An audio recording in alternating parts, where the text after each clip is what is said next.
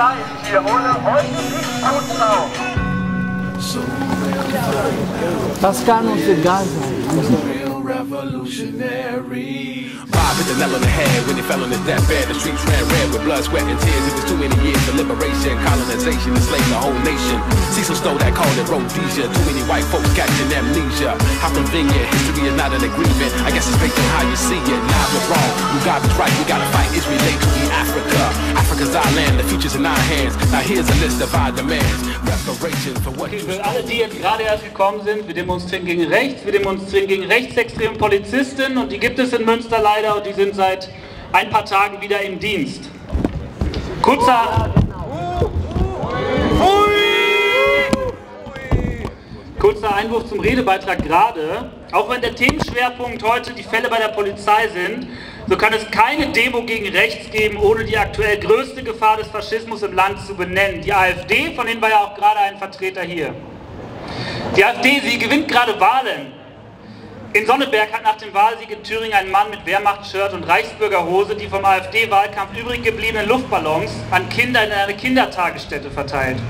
Auch hier in Münster durfte ich schon miterleben, wie ein offener Neonazi-Wahlkampf am Stand der AfD gemacht hat.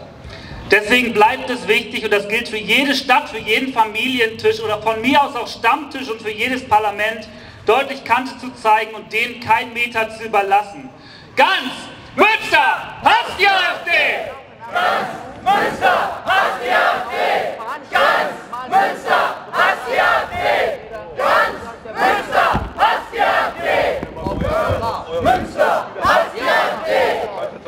Der nächste Redebeitrag ist von Gebhard Hoffner für die VVN-BDA.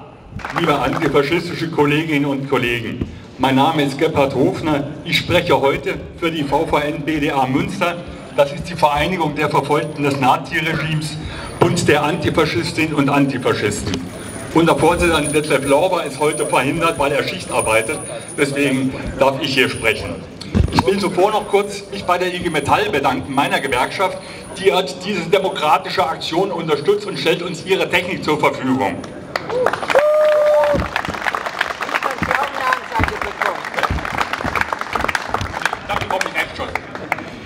Wir protestieren hier und heute dagegen, dass Polizeibeamte eines münsterschen SEK nach einem Jahr Suspendierung wieder im aktiven Dienst sind.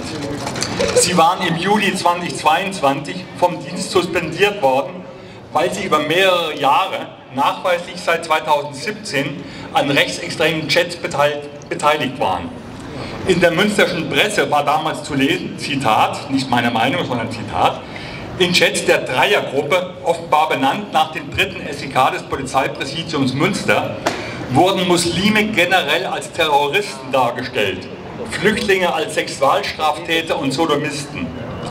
Es gab frauenverachtende Chats und solche, die Bezug auf das Dritte Reich nahmen. Etwa ein historisches Foto Adolf Hitlers mit Offizieren an einem Kartentisch und dem Text Keine Sorge Jungs, Frankreich ist machtbar. Gepostet am 6. Juli 2016, einen Tag vor dem Halbfinale der Fußball-EM, das Deutschland 0 zu 2 gegen Frankreich verlor. Zitat Ende aus der Presse. Der Fall hatte bundesweit Wellen geschlagen und auch im NRW-Landtag zu Debatten geführt. Münster Polizeipräsidentin Alexandra Dorndorf zeigte sich erschüttert und auch wütend. Innenminister Reul ließ vollmundig verlautbaren, Null Toleranz gilt hier für mich ausdrücklich auch nach innen. Zitat Ende von Herrn Reul. Die VVN und nicht nur sie hatte bereits damals die sofortige Entlassung der betroffenen rechtsextremistischen Polizeikräfte gefordert. In unserer Erklärung vom Juli 2022 formulierten wir, die Beamten haben einen Eid auf die Verfassung abgelegt und sind verpflichtet, sich durch ihr gesamtes Verhalten, das heißt inner- und außerdienstlich, zu der freiheitlich-demokratischen Grundordnung zu bekennen und für deren Erhalt einzutreten. So im Paragraph 60 Absatz 1 Satz 3 des Bundesbeamtengesetzes nachzulesen. Aus Sicht der VVN BDA reicht ein Disziplinarverfahren in keinster Weise aus. Die sofortige, Entlassung wäre auch mit der Rechtsprechung des Bundesverwaltungsgerichtes gedeckt. Aus, Zitat aus der Erklärung. Die Münsteraner Chatgruppe war nicht die einzige rechtsextreme, fremden- und feindliche Parolen Hitlerbilder sowie Kinder- und Jugendpornografie austauschte. Bereits 2021 war gegen einen Polizeibeamten aus Münster wegen des Verdachts rechtsextremistischer und gewaltverherrlichender Äußerungen in einem privaten Chat ermittelt worden. Der damalige Polizeipräsident Schnabel sprach in diesem Zusammenhang von einem, Zitat, Verstoß gegen die außerdienstlichen Wohlverhaltenspflichten, Zitat Ende eines Beamten. Weiter Zitat, selbst wenn ich solche Nachrichten geschickt bekomme, darf ich sie nicht positiv kommentieren, sondern muss ihnen entgegentreten. Zitat Ende von dem damaligen Polizeipräsidenten. Die Staatsanwaltschaft Koblenz ermittelte 2022 gegen mehr als 50 Beschuldigte, darunter Polizeibeamte verschiedener Einheiten. In den Chats seien Bilder mit Hakenkreuzsymbolen, antisemitische, rassistische und behindertenfeindliche Mitteilungen verschickt worden. Das sind keine Einzelfälle mehr, möchte ich nochmal in Erinnerung bringen. Jetzt lesen wir in der Lokalpresse über die Rückkehr der suspendierten Polizisten in den aktiven Dienst, Zitat aus der Presse, Oberstaatsanwalt Otzenhardt, die meisten Verfahren sind eingestellt worden, weil Straftatbestände wie Volksverhetzung, Gewaltdarstellung oder das Verwenden von Kennzeichen verfassungsfeindlicher Organisationen das Merkmal der Öffentlichkeit voraussetzen. Hier handelte es sich aber um eine geschlossene Chatgruppe mit einer überschaubaren Zahl von Teilnehmern, die ausschließlich Polizisten waren und eine Verbindung zu dem konkreten SEK hatten. Somit seien die Inhalte nicht öffentlich gemacht worden und hätten auch nicht den öffentlichen Frieden stören können. Zitat Ende aus der Lokalpresse. Das Bundesverwaltungsgericht sah das schon 2017 anders.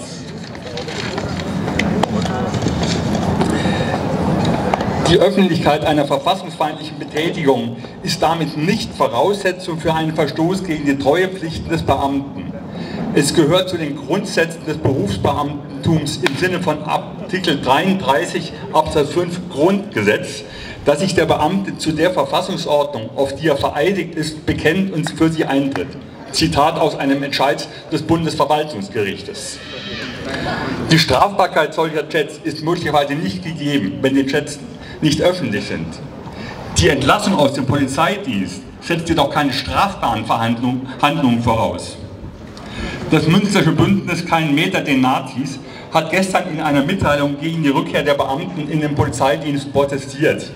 Die ist gestern an die Presse rausgegangen. Ich zitiere, es ist unverständlich, warum die Polizei diese Möglichkeit nicht ausschöpft und sich alleinig auf eine strafrechtliche Bewertung der Chats zurückzieht über die Frage nach der Verfassungstreue von Menschen, die Hitlerbilder, Rassismus, Misogynie und die sexualisierte Darstellung Jugendlicher ansprechen oder gar lustig finden, müssen und werden wir nicht diskutieren. Man kann solche Leute nicht zurück in den Polizeidienst holen und gleichzeitig Land auf, Land ab propagieren. Man würde es mit dem Kampf gegen rechts in den eigenen Reihen ernst meinen. Das ist ein schlechter Witz. Das Bündnis verweist auf das Beispiel der Polizei Dortmund, wo der Polizeipräsident sich jüngst noch damit profilierte, Beamte mit extrem rechter Einstellung in den letzten Jahren erfolgreich aus dem Dienst entlassen zu haben. Zitat Ende aus der Erklärung.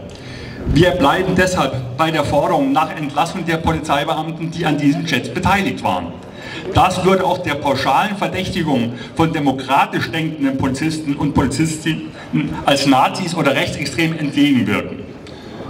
Für uns bleibt klar, Faschismus ist keine Meinung, sondern ein Verbrechen. Das heißt für uns Null Toleranz. Danke.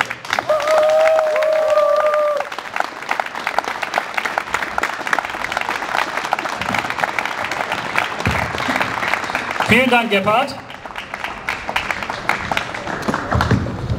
Übrigens heute, Gebhardt hat ja für die VVMBDA gesprochen, ein sehr guter Tag heute in die VVMBDA einzutreten.